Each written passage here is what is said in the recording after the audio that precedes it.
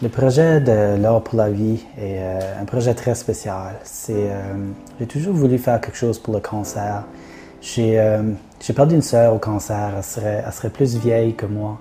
Euh, elle aurait 43 ans, donc elle est décédée 37 ans passés.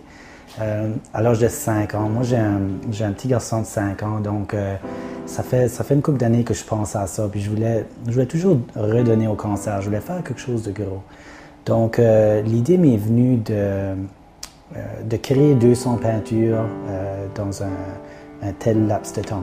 Au début, j'ai jonglé différentes, différentes quantités de peintures. Au début, je voulais faire 50 peintures.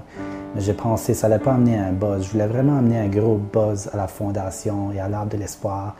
Et, vraiment démontrer qu'une bataille contre le cancer, pas, ça n'arrive pas du jour au lendemain. C'est, une bataille constamment chaque jour pendant une période de temps. Donc, je m'ai dit, euh, je vais mettre là six mois de temps, je vais créer 200 peintures. Euh, c'est, un projet qui était formidable.